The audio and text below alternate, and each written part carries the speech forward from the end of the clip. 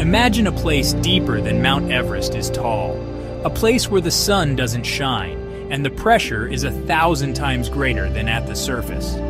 This is the Mariana Trench, the deepest part of our planet's oceans. The Mariana Trench lies in the western Pacific Ocean, east of the Philippines. It's a crescent-shaped scar on the Earth's crust, stretching for over 1,500 miles. This incredible chasm was formed by the collision of two tectonic plates, the Pacific Plate sliding beneath the Philippine Sea Plate. Reaching the bottom of the Mariana Trench is a feat of engineering and human courage. Only a handful of brave explorers have ventured to its depths, using specially designed submersibles.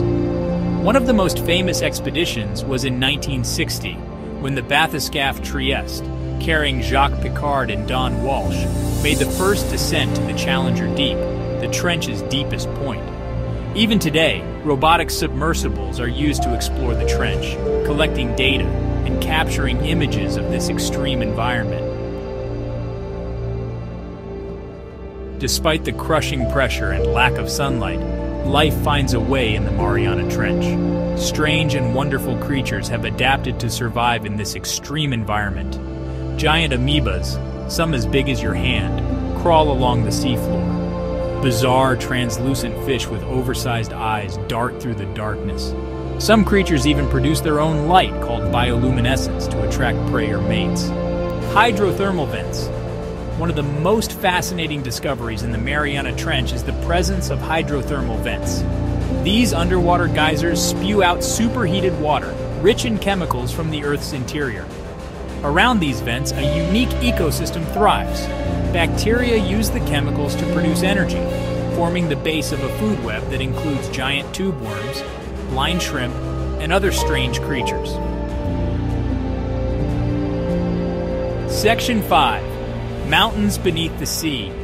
The Mariana Trench isn't just a deep hole in the ocean floor, it's a dynamic environment with its own underwater mountains and ridges.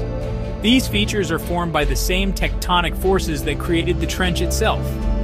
As the plates collide, they buckle and fold, creating these underwater mountain ranges. Section 6 Unlocking the Secrets of the Deep. Exploring the Mariana Trench is like taking a journey to another planet.